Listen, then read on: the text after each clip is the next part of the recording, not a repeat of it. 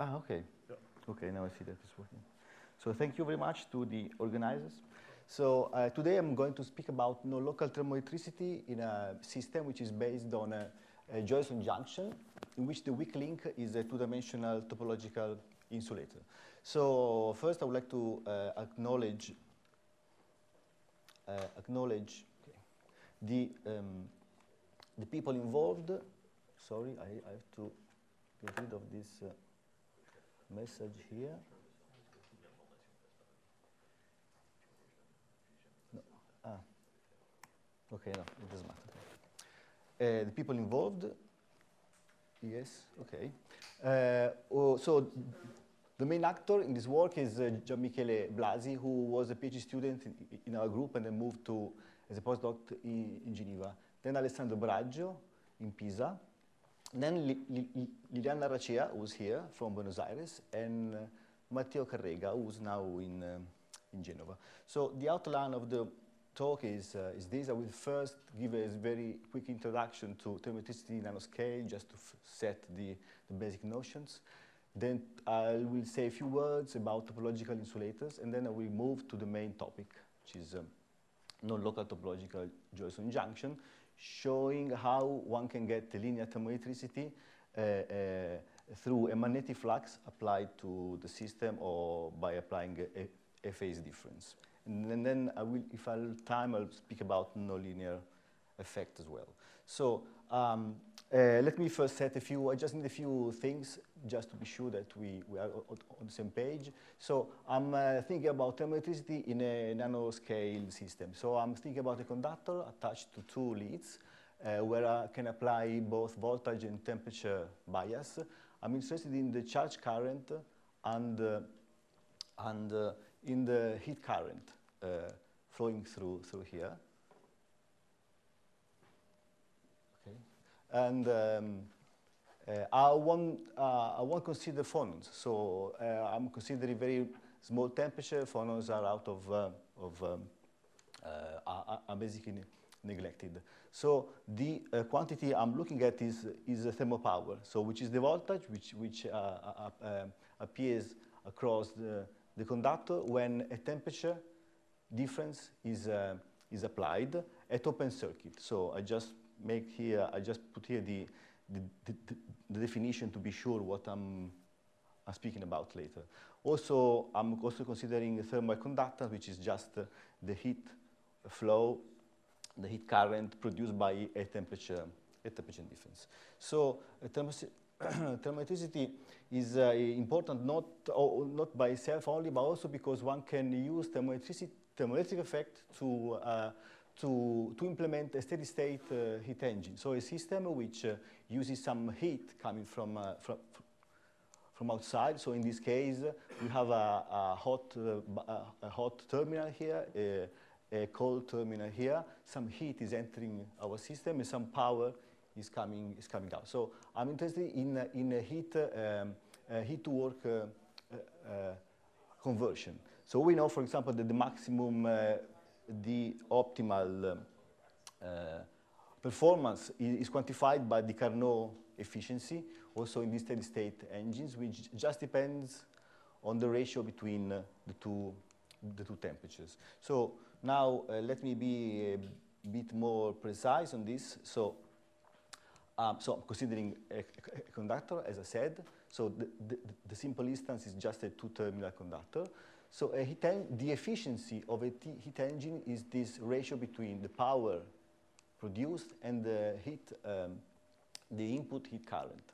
Uh, in linear response, so the, the point is that the, one can define a figure of mer merit, ZT, which is expressed in terms of these transport um, coefficients. And that's why it's important to, uh, I mean, it's important to, to um, to determine these coefficients because just in a, just knowing them you, you will get this, uh, this, this figure of merit. So figure of merit is just equal to the electrical conductivity, uh, thermopower to the second, and divided by the thermal conductance times temperature. So this figure of merit is important because uh, just knowing it, you will, uh, you will know, for example, the maximum e e efficiency of your system which is expressed uh, through this uh, equation here. So what you want is you want a large ZT. When uh, ZT is very small, the maximum efficiency is uh, zero. When ZT is very large, the maximum efficiency reaches the, the Carnot efficiency. Uh, also, you can express the efficiency at uh, maximum power with the same, uh, with the same ZT. Uh, so now, when dealing with uh, nanoscopic, uh, nanoscopic systems, one can, one, can, one can ask, some questions to ask are what, um, what are the, how, how quantum effects affect the, the, um, the performance of a, of, a, of a heat engine. And um, so, for example, what is the role of confinement or, or quantization, or what is the role of, of, uh, of, of quantum interference? This is what um, you, you, you, can ask when dealing with the nanoscopic system where quantum effects can be, can be important. So, uh, actually, in the 90s, it was first realized that uh, in order to enhance, uh, in order to enhance uh, the um, uh, heat-to-work conversion, so in order to enhance this ZT figure of merit, what is important is somehow to get uh, to reach some energy filtering. So to have some transport coefficients uh, which has sharp features in the, in, in, the energy. So, so for example, the general, general, um, generalized conductivity. Uh, and here, for example, in the first paper, in this paper here, uh, they, they studied quantum wells or, uh, or superlattices, realizing that if you decrease the spacing between the, between the layers, you can increase ZT. In this other paper here, they realized that the optimal um, performance is reached when, when this, uh, uh, uh, this kernel here is, is a delta function. So a quantum dot, in principle, can give you the optimal, the optimal it's, it's an optimal heat engine. So there's now nowadays uh, there's a vast literature about uh, about all this. Here I just mentioned a few only a few review papers on uh, on that.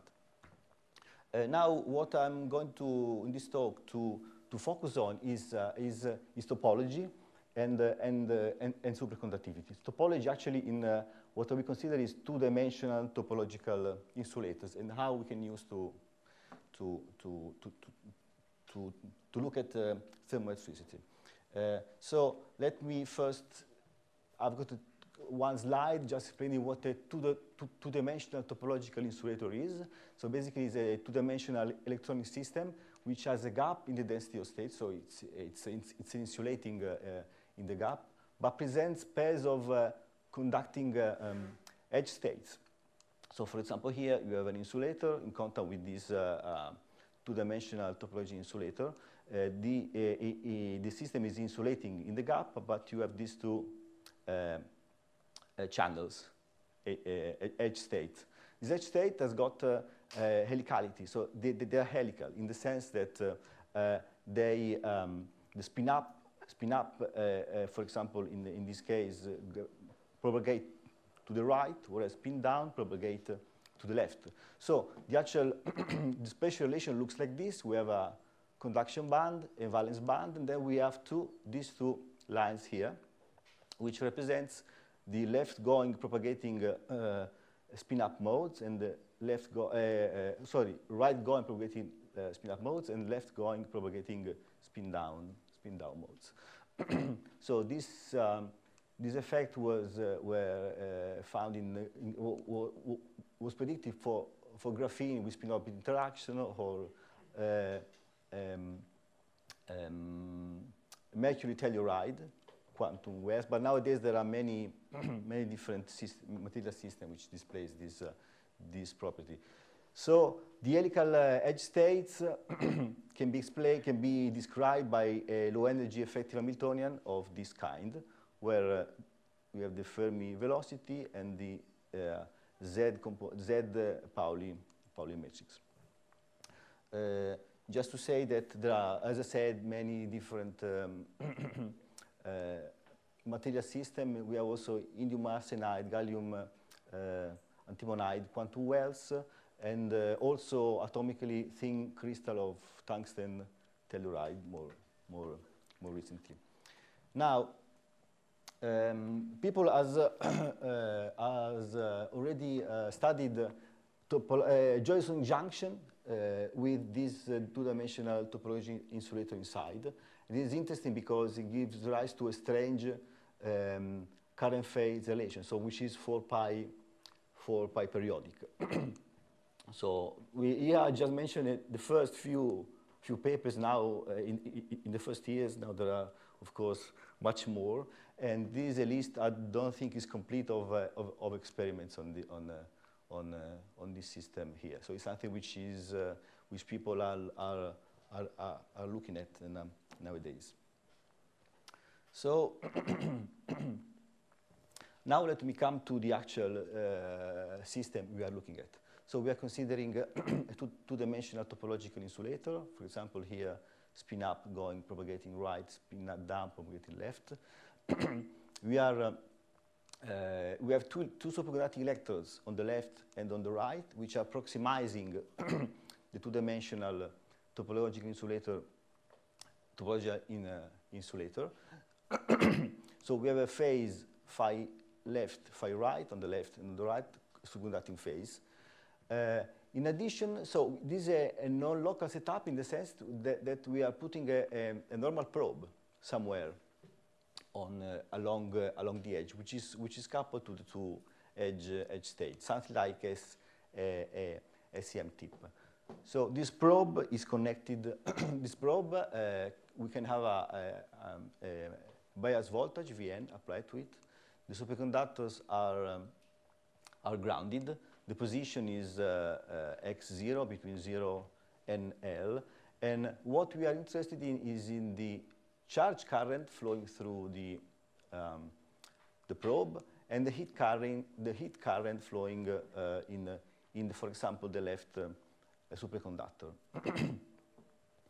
uh, we are looking at the effect of a magnetic flux threading the, the junction and also of a pure phase, phase difference. but I will spend more time on, uh, on the effect of a magnetic flux. The temperature of, so uh, T plus delta T half is the temperature on the, of the left reservoir, of the left uh, superconductor, T minus delta T half of the right superconductor, and the, normal uh, um, probe is a temperature T in the middle, but we see that is not very important, this tem temperature here. Um, so I'm considering just uh, half uh, of, uh, of the two-dimensional so, uh, of two-dimensional TI. Uh, so I'm assuming that the width of the TI is very large, so the edge state on the upper side and the lower side are, are decoupled.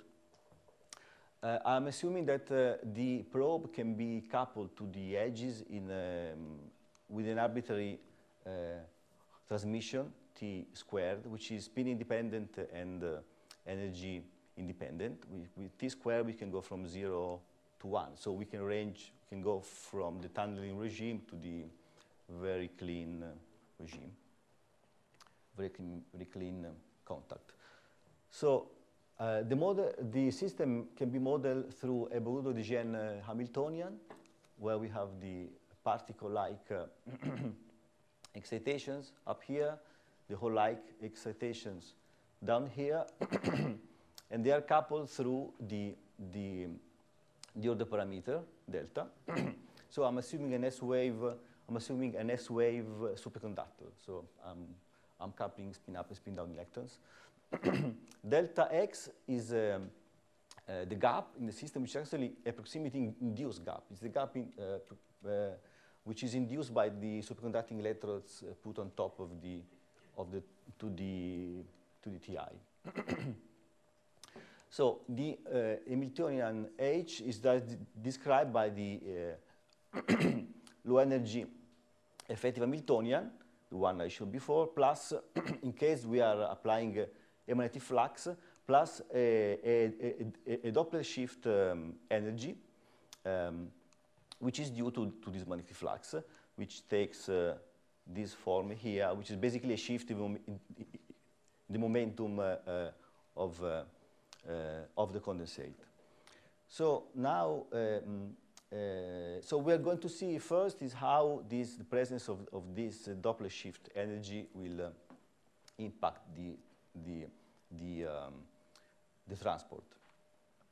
So uh, this is the dispersion curve where for in, in, uh, in, the, in the proximized, uh, proximized region, so delta is, uh, is finite, with zero uh, Doppler shift, so in the absence of a, of, um, of, a, of a magnetic flux.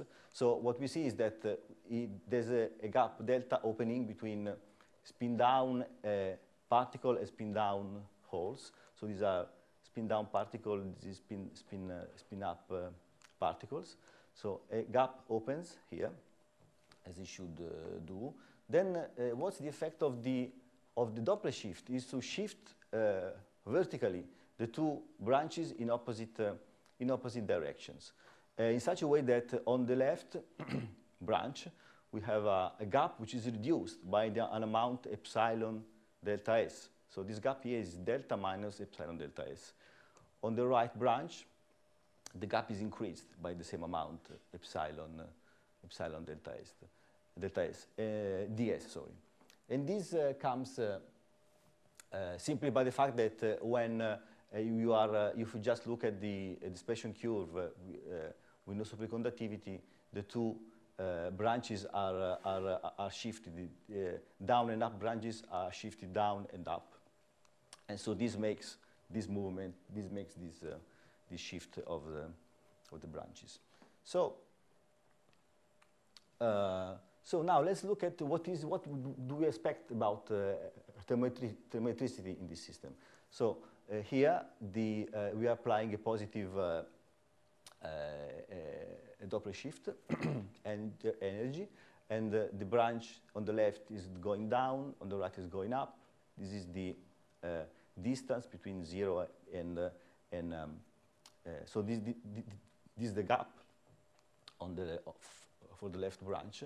And uh, what we see is that we can reach, we can have a, a, a thermoelectric effect, so just applying a temperature difference, so with Vn equal to zero, applying a temperature difference, we can have a, a thermoelectric effect coming from the fact that we, we have uh, holes, so this is the hole branch, we have, we have holes, uh, um, hot holes coming from, uh, from the left, and the cold um, uh, particles coming from the right, which are described by this particle dispersion. This can, this can happen when the temperature is of the order of this gap, of course. So when the temperature is of, is of the order, this branch starts to, to be active uh, in, uh, some current, we expect some current flowing through the normal, through the normal probe. Uh, uh, so we describe this using the, the, the, scattering approach. So the system is actually three terminals, so contains three terminals, but uh, uh we have just two uh, relevant affinities, so biases, which is first, first is Vn, the bias here, the voltage bias, the probe, and the second is the temperature difference between the two superconductors, delta T. Uh, so uh, what we are going to use is, uh, is, a, is, um, um, is a partial, let's say, Onsager matrix. It's a non-local Onsager matrix, two by two, which connects the two, which relates the two, the two relevant uh, currents, so the charge current in the probe and the heat current in the superconductor, to the two affinities, Vn and delta T. So we are getting rid of some uh, of, uh, uh, of some, some equations, but these are the, the, important one, the one we are interested in. So here I'm assuming that we are in the, in the linear regime. Delta T, delta T, small delta T is going to be is much smaller than, than T. So in this way, we can define this non-local Onsager, Onsager matrix which, which is a bit weird, weird because, for example, we, what we find is that L21 is equal to minus L12, which is, a, which is not the, the usual uh, um, symmetry one expects. But this comes from the fact that this is incomplete. The whole Onsager matrix will have the, the, the proper, the, the, proper symmetries. Uh, uh, okay, now we can, we can see the first, uh, we can see first the, the effect one uh, when one calculates, for example, L12. L12 is these terms which gives the uh, thermoelectric effect. So current charge current due to a temperature difference. Uh, no temperature difference between the two superconductors. Uh, what, you, what you find is that, uh, so this is the plot of L12 normalized in some, in, in some way as a function of the uh, um, um, Doppler shift energy normalized with, with delta and uh, as a function here of the transmission of the, of the coupling with the, with the probe. So what one sees is that one has an effect when uh, epsilon ds divided by delta is, uh, is of order 1. Okay, and this, and this makes sense because it's when, uh, it's when uh, the first branch, the, the, branch on the left or, or, on the right, goes, goes down and close to the, to the origin. So one, one has, for example, in this case, so this was positive delta S, and one get a positive, uh, a positive signal here. And for negative delta S, the branches move uh, in an opposite way, and one gets uh, this, this other this value, a negative. And one sees that uh, uh, the effect increases by increases, increasing the coupling. So the tunneling, the, the, in, in the tunneling regime, there is little, there is little um, effect. Uh, so what? So in this case, I, I took a length which uh, which is of the order of the of the coherence length. so one, just to understand a bit more, one can see what happens to L11. Uh, so for example, all, on, on, on the electrical conductance, the electrical conductance looks like uh, looks like this.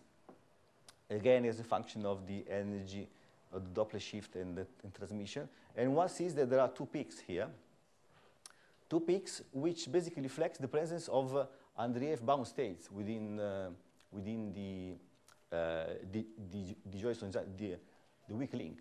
So we have two bound states, which then, of course, uh, also width open up when increasing the, when increasing the, uh, the, the, coupling with the probe. So basically, the, the coupling is giving width to, the, uh, to these uh, bound states uh, up to, to, up to here where everything is open. And, and for example, when you increase, when you increase the length, what you will find is a figure like that. So there are, there are going to be many uh, bound states. So this is what these actually actually these are uh, bound states which uh, which are appearing. I say I'm saying this because there are uh, there are remaining effects on the on the uh, so, uh, on the thermoelectricity.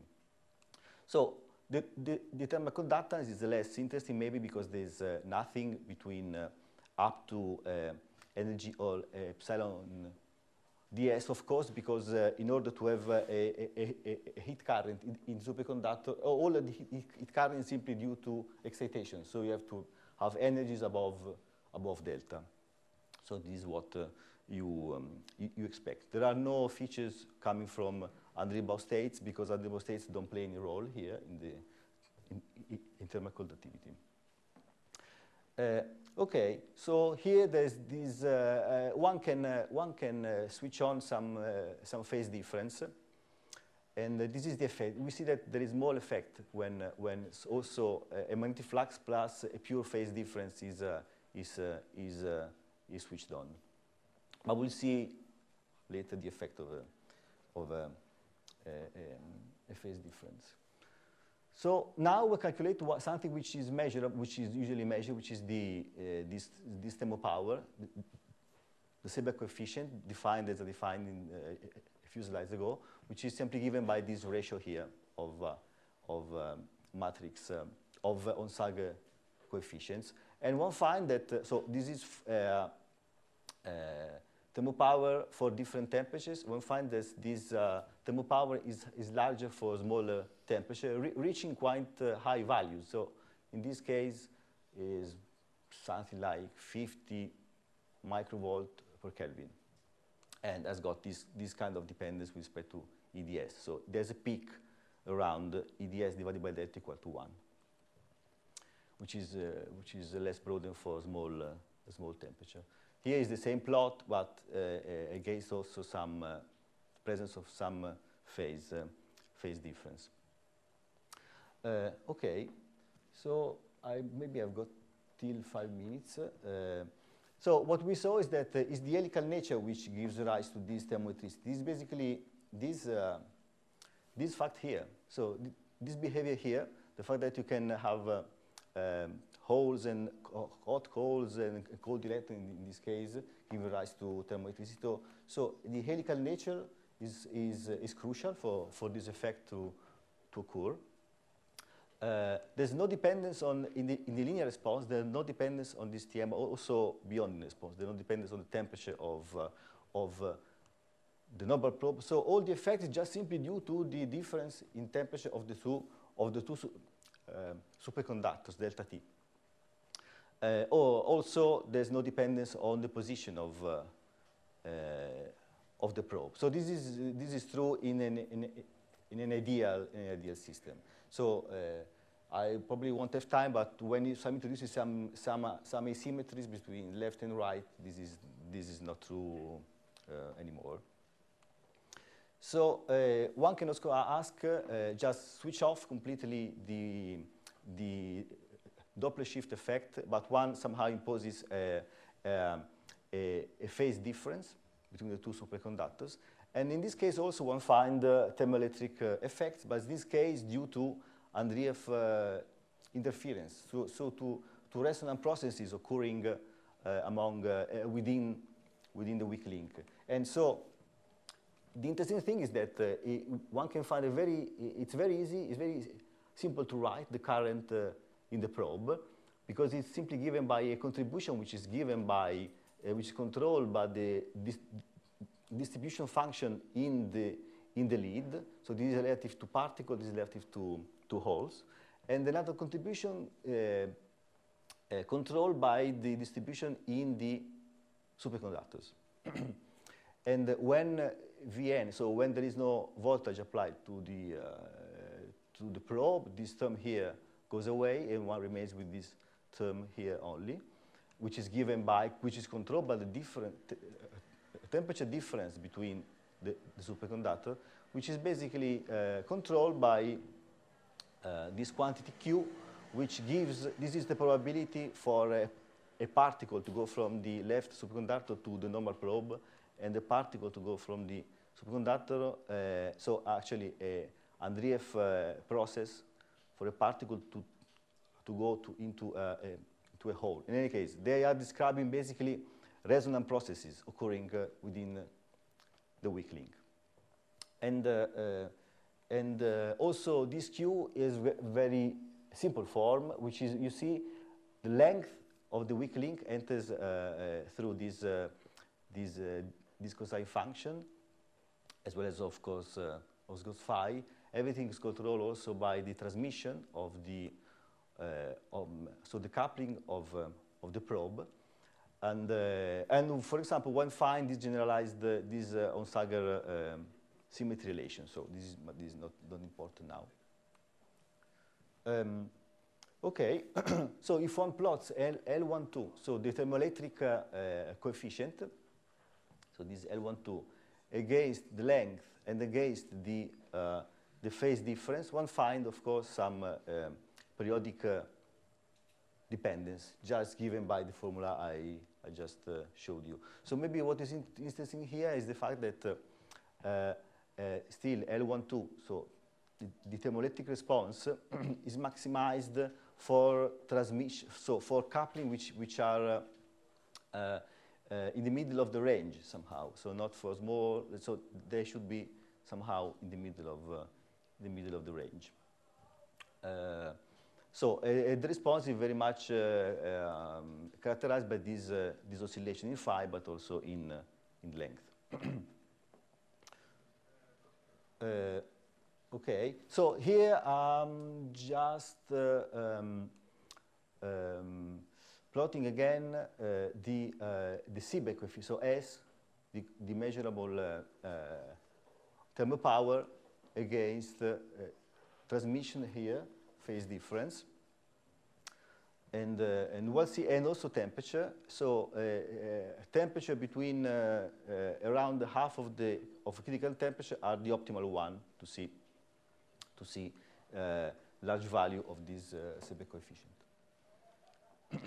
now I'm just comparing the, the two effects where we, we have pure Doppler shift or pure Andreev uh, interferometric uh, effect. And with Doppler shift, the effect is much, much, uh, much, much larger with respect to, to thermoelectricity, with respect to the uh, Andreev interferometry. So I still have uh, a few minutes or? Uh? Okay, so no, so just what, what, uh, what was remaining was the effect of uh, asymmetries, more realistic uh, effects, and some estimates about the some estimates about the um, heat generation and e efficiency of uh, heat engines of uh, of this kind. So the main message uh, I want to convey is this them thermoelectric effect induced by a magnetic flux, which is very much dependent on the helical nature of of these uh, uh, edge states. So all what I've uh, told you is basically contained in this, in this, paper, in this paper here. So thank you very much.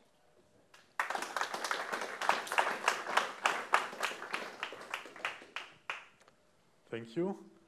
I already see a raised hand.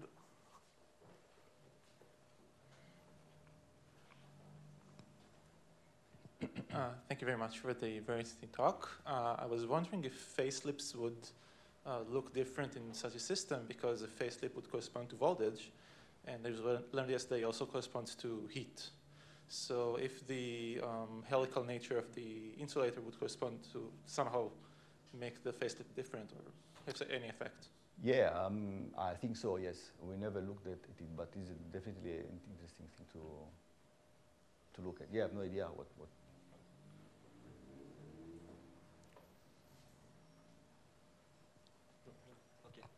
Thank you. Um, I had a question because you were only looking at the um, kinetic energy of the charge carriers regarding the heat transport, if I understood uh, well. Uh, no, I'm, I'm, considering the, the, the, heat current as you, as you, as the, the complete heat current just due to, to quasi-particles. Yes. Of course. Uh, but it's just kinetic, right? You, you neglect any um, plasmonic effect in the edge no, channel? No, no, no. It's only kinetic. Mm. And do you have an idea of the edge reconstruction of uh, topological edge states? I'm not familiar with them. In quantum Hall effect, uh, it can dominate in several regimes. So you have a lot of uh, electrostatic content in the energy of the 1D wave propagating in, in the edges. Here, it's only the kinetical part. So, so if the yeah. two channels are overlapping on the same uh, position, they will be very strongly Coulomb interacting. Yes. So I guess it will change the chirality. Ah, yeah, I mean, we change many things. But I don't think people have uh, studied this. Uh, yeah, I, it's even a mess in the quantum. No, no, no, no, because, um, yeah, yeah. Okay. No, this, yeah. Thank you. Are there any other questions? We still have time for one quick question in the room or in the chat. it's always good to wait a moment until people in the chat figure out what to click on. If they There's two chat uh, messages. Uh, they are old. Okay. Yeah, they're old. um, if not, let's thank the speaker again. Thank you.